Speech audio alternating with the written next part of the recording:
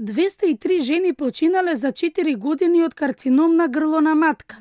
Секоја година бројот на умрени жени од овој карцином се зголемува за 6%, покажуваат официјалните извештаи на Сдруженијето на еманципација, солидарност и еднаквост на жените.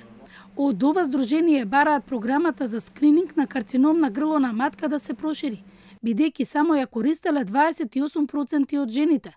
Оваа програма опфаќа помалку жени од предвидениот број и троши помалку средства од издвоените, велат од Сдруженијето.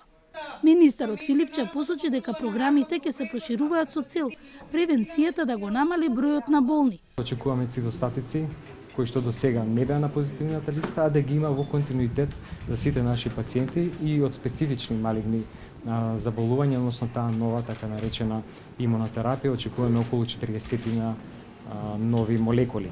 Понатаму ги зајакнуваме капацитетите во смисла на поставување на регистар за малигни болести за прв пат во нашата земја како за пациентите кои што се лечат во болница, така и за пациентите на ниво на а, нивните места на живење, со што ќе научиме многу за причините и со тоа како да се справиме со а, големиот процент на малигни заболувања во нашата земја. Од Сдруженијето Бурка вела дека потребен е регистар со бројки колку болни има од рак и промена во системот мој термин за контрола на болните од рак, но и за побрза диагностика.